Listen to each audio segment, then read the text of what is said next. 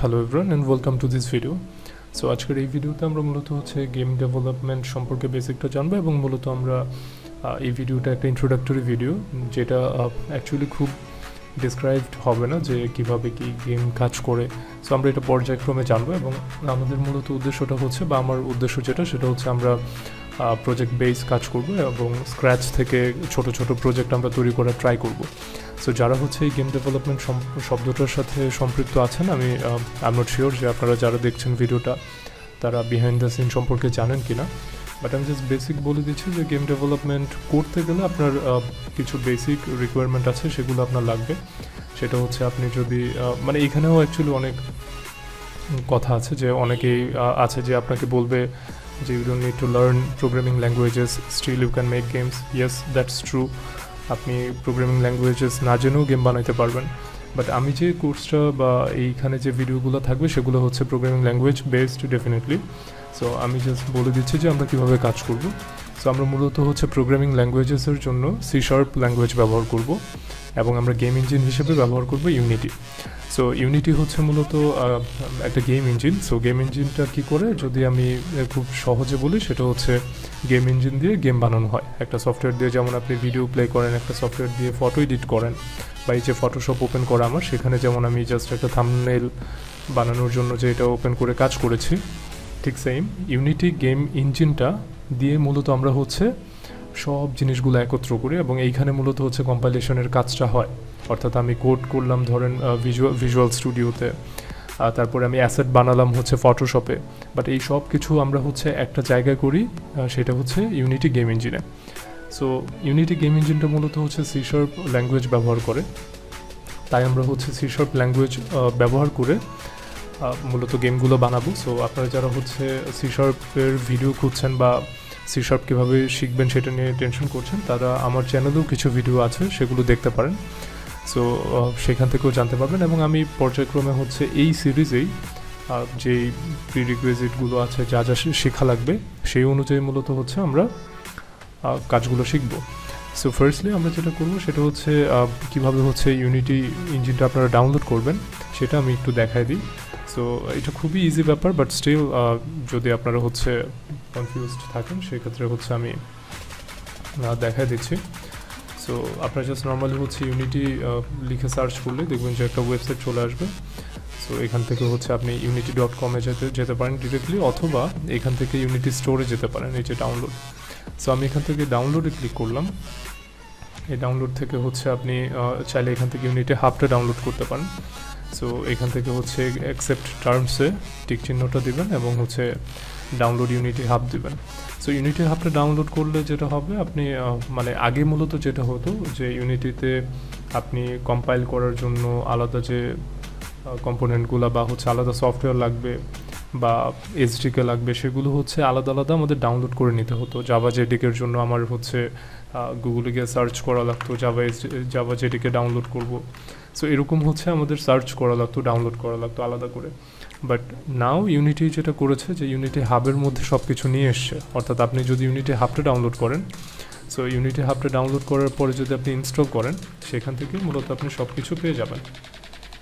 So unity hub আমার আগেই install করা আছে। দ্যাটস ওয়াই আমি জাস্ট হচ্ছে ইউনিটি হাবটা ওপেন করছি। আপনারা ডাউনলোড করে ইনস্টল করে নিতে পারবেন। দেন এখান থেকে মূলত হচ্ছে যেটা করবেন সেটা হচ্ছে আপনাদের কিছু জিনিস একটু প্রবলেম হতে পারে, সেটা আমি দেখাই দিচ্ছি। যেমন এখানে হচ্ছে সেটিং বাটন আছে আর এখানে হচ্ছে ইনস্টলস বাটন আছে।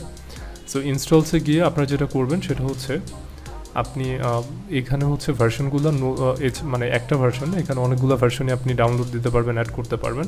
এছাড়াও আপনি যেটা করতে পারবেন সেটা হচ্ছে অ্যাডের মধ্যে ক্লিক করে, এই যে দেখেন আমি আমি, আমার এখন যে ভার্সনটা ডাউনলোড করা আছে সেটা হচ্ছে এটা। আর এখানে আরও অফিসিয়াল রিলিজেস আছে, সেগুলোতেও ক্লিক করে ডাউনলোড করতে পারবেন। সো আপনার ইউনিটি হাবটা ডাউনলোড হয়ে যাওয়ার পরে আপনি এখান থেকে ইনস্টলসে আসবেন দেন অ্যাডে ক্লিক করবেন। অ্যাডে ক্লিক করার পরে এখান থেকে যে কোনো একটা ভার্সন সিলেক্ট করবেন। সো ধরুন আমি এই ভার্সনটাই ডাউনলোড দিব। সো আমি এখানে নেক্সটে যাব। দেন এইখান থেকে আমি মাইক্রোসফট ভিজুয়াল স্টুডিও কমিউনিটি যেটা, এটা টিক চিহ্ন দিয়ে দিব। অর্থাৎ আমরা ডেভ টুলসের মধ্যে এটা ডাউনলোড দিচ্ছি এবং এটাতেই মূলত আমরা কোড করব বা কোড এডিটর হিসেবে আমরা এটা ব্যবহার করব।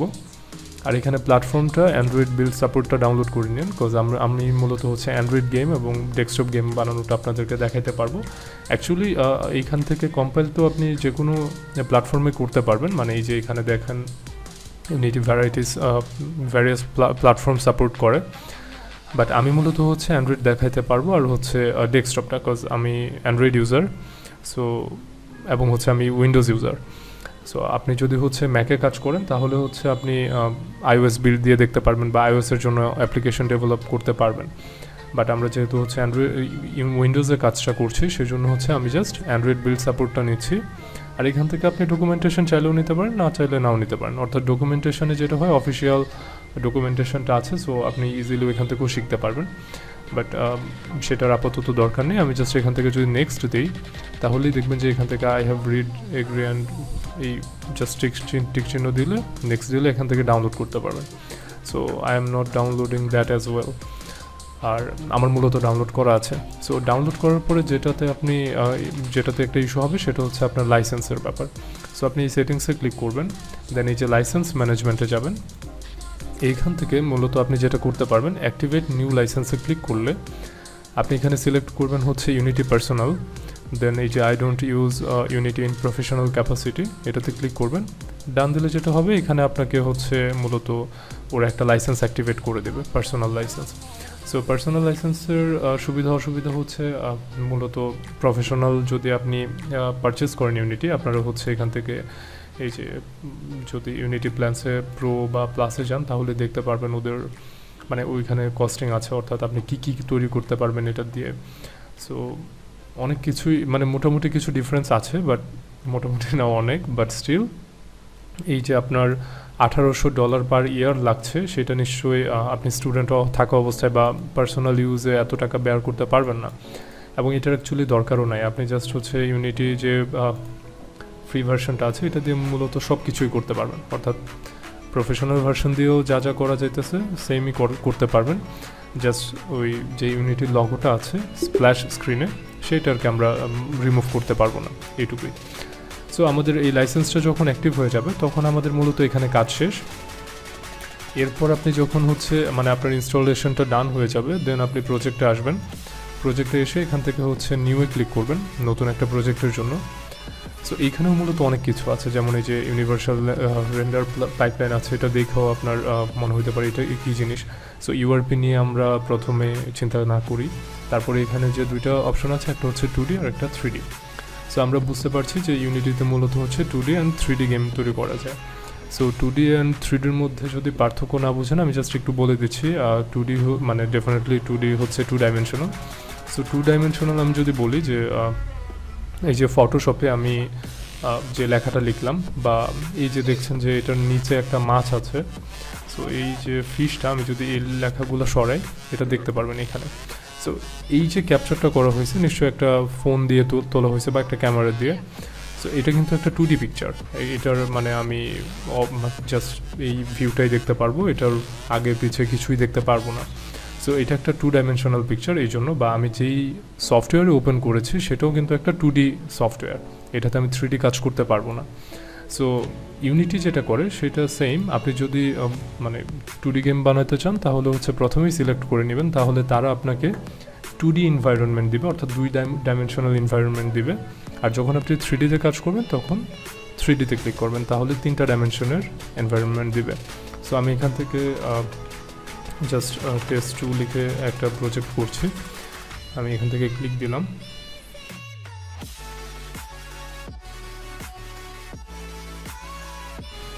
সো আমরা দেখতে পাচ্ছি যে প্রজেক্টটা ওপেন হয়ে গিয়েছে। সো এটা, এটাতে একটু টাইম নেবে। ফার্স্ট টাইম যদি আপনি ওপেন করেন, তাহলে একটু বেশি টাইম নিতে পারে।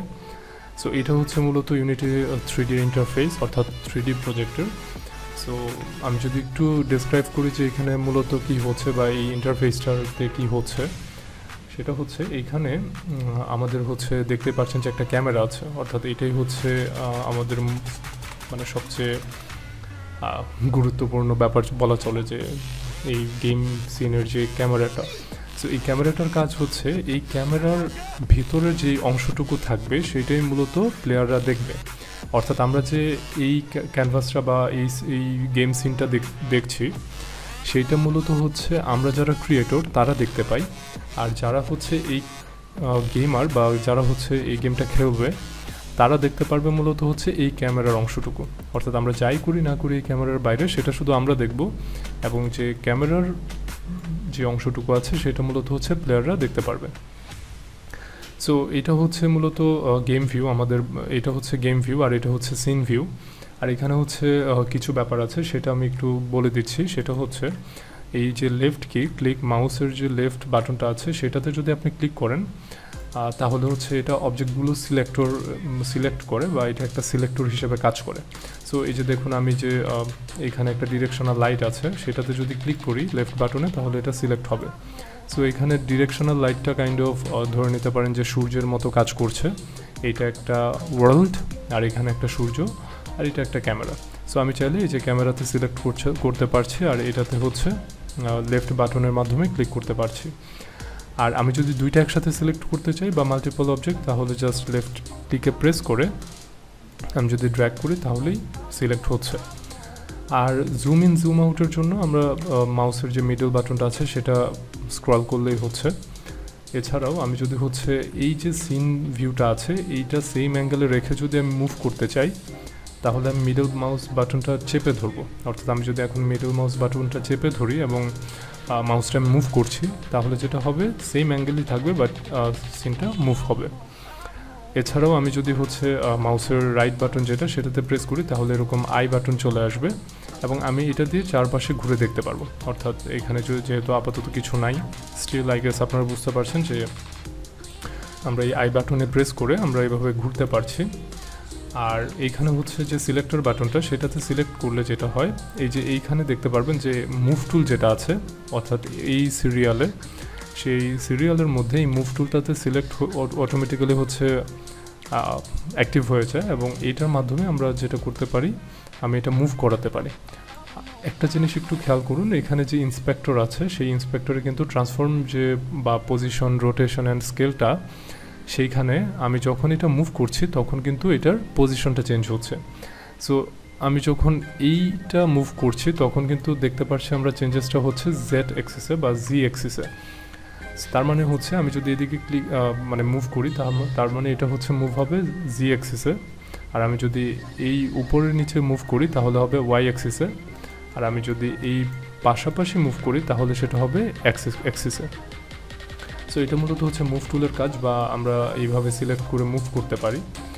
আর এই হ্যান্ড টুলের কাজ যেটা, সেটা হচ্ছে এই যে আমরা একটু আগে যেটা বলেছিলাম যে আমরা যদি হচ্ছে অ্যাঙ্গেলটা সেম রেখে আমরা যদি হচ্ছে সিন সিন মুভ করতে চাই, তাহলে মাউসের মিডল বাটন প্রেস করে করব। এটা এটার কাজ করে। তারপর এখানে রোটেট তারপর স্কেল এই বাটনগুলো আছে। যেমন আমি যদি হচ্ছে এখানে একটা অবজেক্ট নেই, এখানে যদি আপনি রাইট বাটন ক্লিক করেন, তাহলে থ্রি ডি অবজেক্ট এখান থেকে কিউব স্পেয়ার এগুলো নিতে পারবেন। অর্থাৎ আমি যদি এখানে কিউব নেই, এবং ক্লিক কিউবের উপরে ডাবল ক্লিক করলে এটা জুম হবে বা এটা সিলেক্ট হবে। আর এটার এখানে দেখুন পজিশন আছে মাইনাস টেন এরকম আছে। এটা যদি আমি রিসেট করতে চাই জাস্ট রিসেটে ক্লিক করলে এটা দেখুন রিসেট হয়ে গিয়েছে। এবং এটা কিন্তু ক্যামেরার যে যতটুকু হচ্ছে ফিল্ড অফ ভিউটা আছে, সেইখানে এটা পাওয়া যাচ্ছে। এই জন্যই এই যে গেম ভিউ এখানে আমরা এটাকে পাচ্ছি। সো আমি যদি এটার সাইজ বড় ছোট করতে চাই, তাহলে বা রোটেট করতে চাই, তাহলে আমি যেটা করতে পারব, এই যে রোটেট টুল এটা সিলেক্ট করে আমি দেখুন এটা রোটেট করতে পারছি। ঠিক আছে? আর যদি আমি এটা বড় ছোট করতে চাই, তাহলে স্কেল টুল সিলেক্ট করলে কিন্তু আমি বড় ছোট করতে পারছি। এবং এখানে ট্রান্সফর্মে দেখতে পারবেন যে স্কেল এক্স এক্সিসে এতটুকু হয়েছে। তারপর আমি যদি এটা জি এক্সিসে করতে চাই এরকম এবং ওয়াই এক্সিসে করতে চাইলে এরকম। সো আমি যদি আবার এটা মুভ করতে চাই, তাহলে যে সেম আমি মুভ টুলটা সিলেক্ট করে এটা মুভ করতে পারছি। সো এইখানে মূলত হচ্ছে শর্টকাট কিগুলো হচ্ছে এরকম যে কিউ ডাব্লিউ ই আর টি এরকম। সো আপনারা এগুলো দিয়েও হচ্ছে ট্রাই করতে পারেন। সো আপনারা যেটা করতে পারেন, এই পর্বের পরে যদি আপনারা একেবারে বিগিনার হয়ে থাকেন আপনারা হচ্ছে জাস্ট ইউনিটিটা ইনস্টল করেন। ইনস্টল যদি আমার ভিডিও দেখে না বুঝেন, সেটার জন্য আমি সরি আমি আসলে ডেফিনেটলি একটু অ্যাডভান্স হয়েতে বলেছি যে just go to Unity hub and install all that so আপনারা যদি এটা নাও বুঝেন, আপনারা আরও সার্চ করতে পারেন যে কীভাবে ইউনিটি ডাউনলোড করতে হয়। ইউটিউবে প্ল্যান্টি অফ ভিডিওস পেয়ে যাবেন। আর এখানে হচ্ছে মূলত আপনি যেটা করতে পারেন, আমি আপনাকে একটু টাস্ক দিয়ে দিচ্ছি। এগুলো ডুপ্লিকেট করুন। ডুপ্লিকেট করার পরে এই কিউবটাকে সেম পজিশনে নিয়ে আসুন বা এই যে কিউবগুলো সেগুলোকে হচ্ছে এক একটাকে এক একটা জায়গায় নিন। তারপরে যেটা করবেন, সেটা হচ্ছে একটা ঘরের মতো বানানোর চেষ্টা করুন। অর্থাৎ আপনার কাছে এই কিউবগুলো আছে, আপনি এই কিউবগুলোকে হচ্ছে ডুপ্লিকেট করতে পারছেন এবং আপনি অসংখ্য কিউব নিতে পারছেন। এবং যেহেতু এই কিউবটাকে আপনি অলরেডি আমরা দেখতে পাচ্ছেন যে একটা দেয়ালের শেপ দিয়ে ফেলেছি সো এটাকে যদি কন্ট্রোল ডি প্রেস করে আমি ডুপ্লিকেট করি এরকম একটা শেপ আসবে। আবার এটাকে ডুপ্লিকেট করে আমি যদি মাঝখানে নিয়ে আরেকটা কিউব আমরা পেয়ে গেলাম। তারপরে এটাকে যদি আমরা রোটেট করতে চাই, এভাবে আমরা রোটেট করতে পারি, তাই না? সো আমি যদি রোটেট করতে পারি এখানে মাইনাস নাইনটি ডিগ্রি বা নাইনটি ডিগ্রিতে এবং এটাকে আমি এই যে সিলেক্টর টুল ব্যবহার করে আমি এটাকে উপর নিচে করতে পারছি। সো আপনাদের টাস্ক হচ্ছে যে এটা দিয়ে কিছু একটা করেন, কিছু একটা বানানোর ট্রাই করেন এই কিউব আছে, তারপরে এখান থেকে থ্রি ডি অবজেক্ট অনেক কিছুই আছে। সো এগুলো নিয়ে মূলত একটু ঘাটাঘাটি করেন। আমরা পরবর্তী পর্বগুলোতে হচ্ছে আরও সি শিখব। তারপরে হচ্ছে কীভাবে গেম বানানো যায়। আমরা স্ক্র্যাচ থেকে প্রজেক্ট তৈরি করব। এই বিষয়গুলো আস্তে আস্তে আমরা দেখতে পারব। সো আরেকটা কাজ করবেন আপনারা, সেটা হচ্ছে আপনারা যারা নতুন শিখছেন বা এই কমিউনিটিতে অ্যাড থাকতে চান ফেসবুকেও গ্রুপস আছে অনেক। আমি আমার যে মানে এই চ্যানেলে যারা ভিউয়ার আছেন, তাদের জন্য একটা গ্রুপ আমি ক্রিয়েট করে রেখেছি। সো সেইটার লিঙ্কটা আমি ভিডিও ডেসক্রিপশনে দিয়ে দিব। আপনারা হচ্ছে ওইটাতেও জয়েন হয়ে যান। সো যেটা হবে, আমরা ওইখানে ডিসকাশন করতে পারব বা হচ্ছে কারও কোনো প্রবলেম হলে ফিক্স করতে পারব। Okay so I am ending this video right here we'll see you in the next video.